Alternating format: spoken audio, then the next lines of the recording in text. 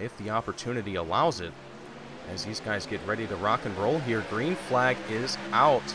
And Jonathan Delaney is going to lead the field here with Adam Benefield and Dustin Hall going side by side. We have Dustin, Dustin Hall, excuse me, Dustin Hall uh, actually got around that number 83 of Adam Benefield quite easily. He's now going to be second with Adam Benefield trying to gain some speed and get around uh, the guys that have just passed him. But a lot of speed coming out of this train here from the 1, the 37, and the 65. You can see it on your screen now. These guys are going very fast around this track.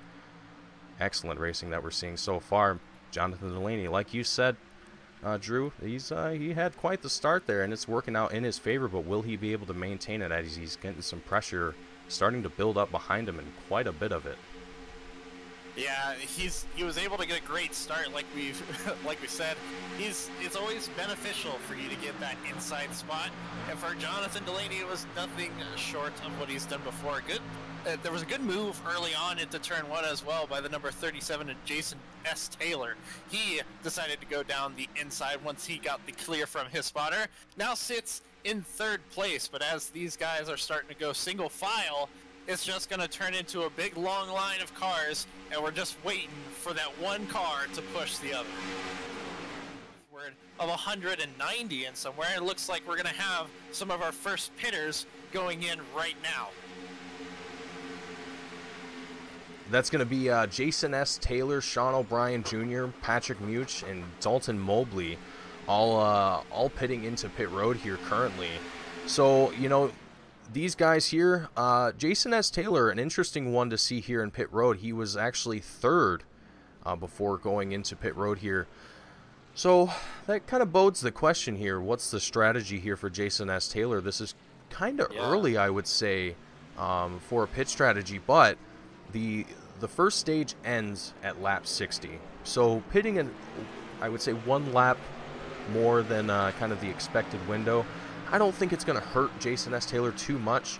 Now we see even more drivers into the pits of Adam Benefield, uh, Dustin Hall, who was second place, Alex Murray, Brandon Pierce, Cody Porter, and Bradley Brandon, all currently in the pits, and a good race out of the pit lane to try and keep those spots. But it's these strategies evolving as well as we're seeing now some of the other lead cars now going in, and there was some cars sideways even going into the pits. There's one still in the grass as he goes down the pit straight. I don't. Well, hopefully he doesn't get a penalty for that. I don't know how race control is going to deal with it, but he is. Uh, I don't think he's even categorized as in the pits. Yeah, he is now out. So to be out of the race in the long term. As we start to see a load of drivers come into the field here, we have the 86 going sideways, bumping into the oh wall. Oh my god. Absolutely great. That's going to be Brandon White in the number 86 there, uh, coming in pit road just a little too spicy. Yeah, like we said before, you've got to make sure that your pit stops are spot on. This is all of the second pack, if I'm not mistaken. So they may come around uh, just a little bit ahead of everyone that they're competing with, but definitely want to don't want to do what the 86 was doing in terms of spinning right there. So uh, he's got to be careful with that. Uh, these guys are now filing into the second or behind that first pack that pitted earlier, and now we see a new leader at the top of the uh, at the top of the order right now, and that is Lucas Hoitzma. Into the exit of turn two with the number nine of John Delaney up top. He currently has the momentum down the backstretch, and we'll see what happens on this final turn here, Mason. Yeah, very exciting action that we're seeing from these Oh, guys in the front of the field. Oh, we're going into turns three and four. Things are looking spicy. Drivers are going too wide here. It's absolutely intense battles here. Very close. Ac- oh, oh, we saw a little bit of a little bit of a slip up there. Yeah, Couldn't see what number was- that was, but uh, that was number 28 of Alex Murray, but regardless, he'll be going into the pits as the caution will fly here as this first stage finishes up. there's still time uh, to be able to make that happen.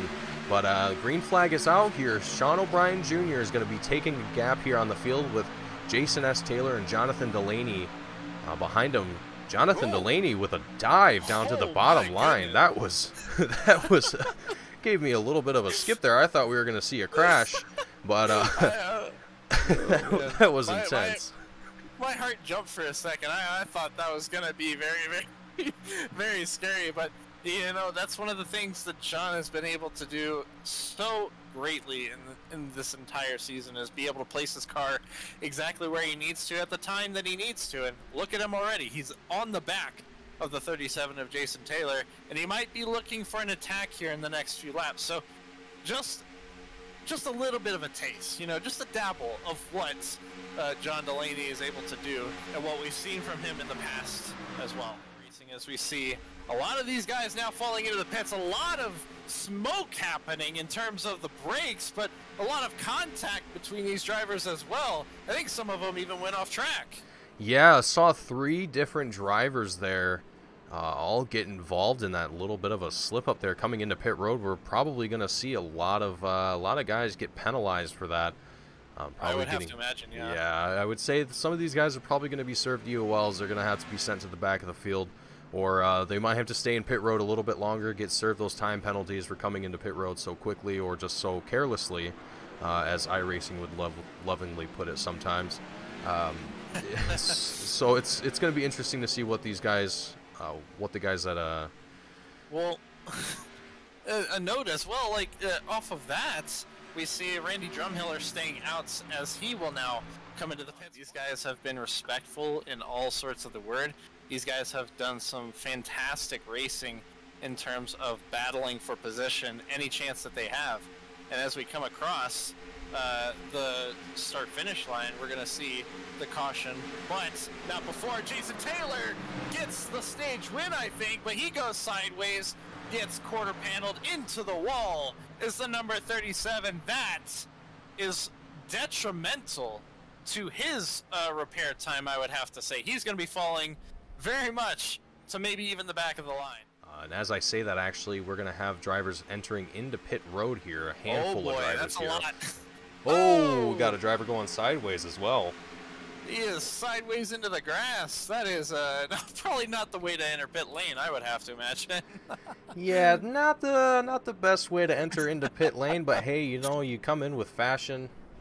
Got to give credit to the number three machine, uh, He's just Brian trying to Mabry. stick out. just trying to get some of that TV time. You know, you gotta you gotta make exactly. it count. but Good note, though. John He- Delaney up in that uh, front spot, currently sitting. He's about to pop out, but look at that number 63 carve of uh, Bryson Hixenbaugh.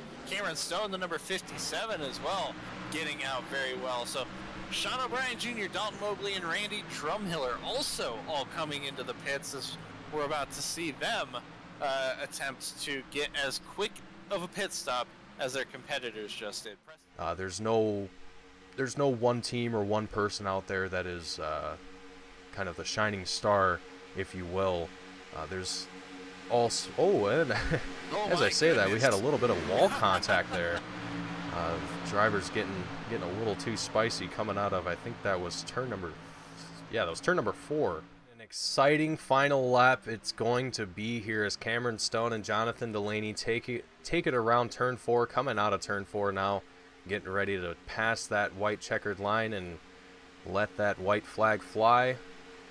It's gonna be a interesting interesting final final lap here today, but for everyone involved, it's been an exciting one. And oh man, for Jonathan Delaney, excellent race from him, being able to lead the race as long as he did and still finish out second. Uh, impressive for him and Cameron Stone. Great performance from him as well. See if he makes a move here. Is it, things getting a little little interesting here. Coming on to our final final lap here, Jonathan Delaney looking like he's wanting to make a move here. A few other drivers looking like they want to make oh, a move as well. Yeah, Dustin Hall in the back. Look at him following the 24 of Kevin Steele. He might turn something into uh, getting a place there as he moves up into P4 now, past Sean O'Brien Jr.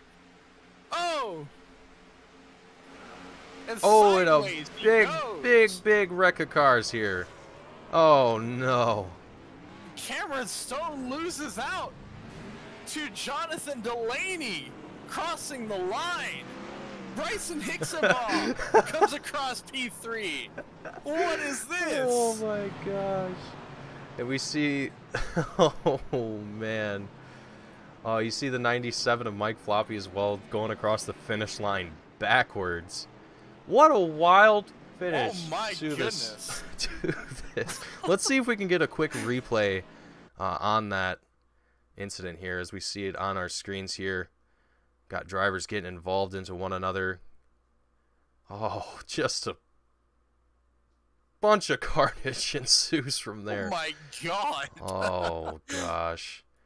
But that's it Oh, for Cam- today's race. wow. Cameron Stone losing out to Jonathan Delaney.